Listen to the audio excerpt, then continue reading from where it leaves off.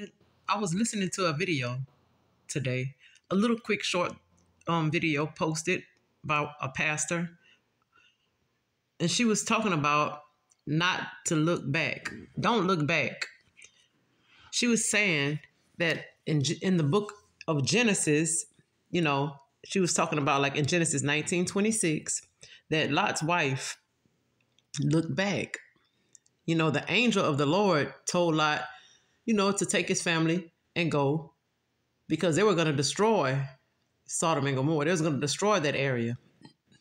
But as they were leaving, Lot's wife, she turned around and looked back.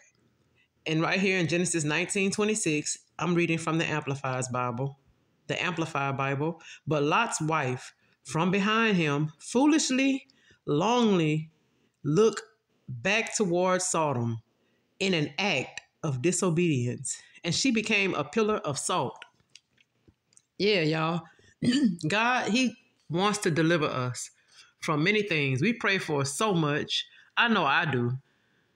I pray for so much and asking God to move in my life, you know, to bless me abundant and overflowing, to bless me, excuse me, to bless me, to be a blessing to others. And I ask Him to take things away that is not of Him, you know, that's not in His will. And He will do it, but we have to let go, you know, let go and let God. We have to move on. We have to just learn to trust and believe in God. What He has for us is better than what we can even fathom because He knows the ending before the beginning. He knew us before He formed us in the womb of our mothers.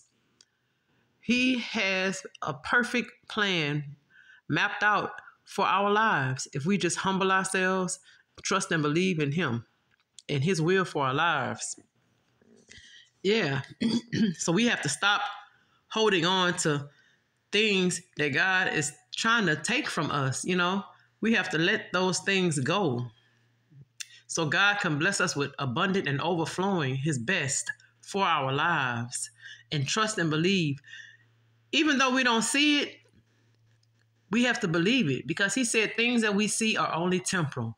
What we don't see is eternal. So we have to believe and knowing without a shadow of a doubt that God's will for our lives is the perfect will. He will not give us anything less. It's perfect. He know how he knows how to get good, give good gifts. So we just have to trust and believe in our Father and not be like Lot's wife. We have to not foolishly long looking back toward Sodom, looking back toward things that he has told us to let go. We have to learn to let go and let God and move on and just know that it's going to work out for your good. So, whoever this word is for, be still. be still, because I know it was for me. Be still let God.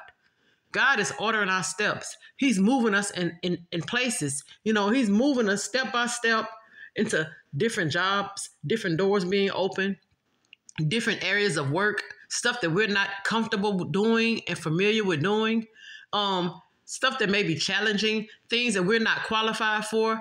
He'll bless us and, and you know, just give it to us. And the Holy Spirit will teach you how to do it when He put you there. So just know, I'm not just saying this to you, I, I'm saying this to me as well. Be still, y'all.